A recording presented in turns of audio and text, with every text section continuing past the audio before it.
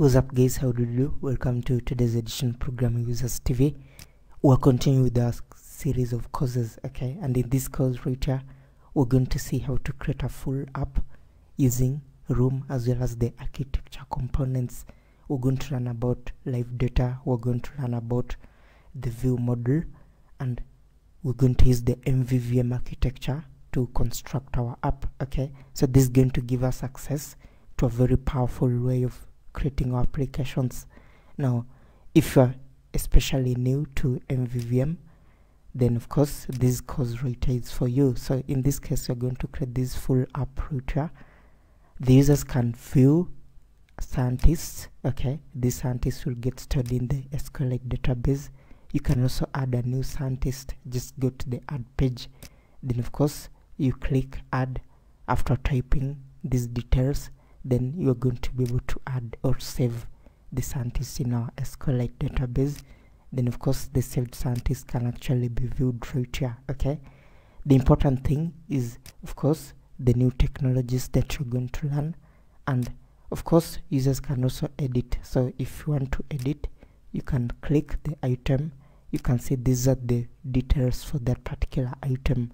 Then you can either click this button to open the editing page or you can come right here and then of course edit. Okay for example I can go ahead and change the star and change it right here. Let's say I choose this one. I can go ahead change the date. So I can come then I just click okay and then update successful. So in this case if we go back to the details for the Werner Heisenberg we can just come right here and see. Just that we change them okay? So basically a CRUD application. This is a template for you guys to create a full app. Let's add a dummy scientist right here just to see how it works. So I can go ahead and type the scientist name. Then of course I can type the description. Then of course I can type the galaxy and then I can come choose the star. So I can for example select the star and then I can come and then select the date okay?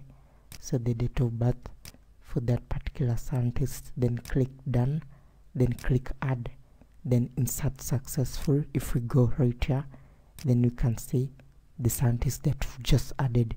Now we can proceed go ahead and then edit that particular scientist okay. So I can come right here edit and then just click update. So if we go back to right here then you can see the scientist that we did add okay? What about if to delete? Well you just come right here and then you click delete and then delete successful. Now if we go back we've deleted it from the database okay?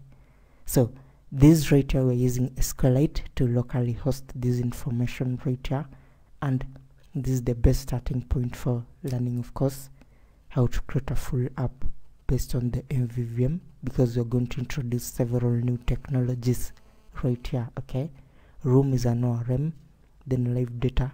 Of course will give us access to the live data we'll explain more and then of course we'll be using the view model pattern MVVM pattern of development. And then of course this will allow us to perform of course to create this particular full app right here okay? So this is what you're going to learn in this particular course. So yeah.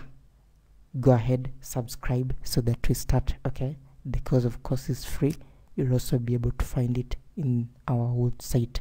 So let's start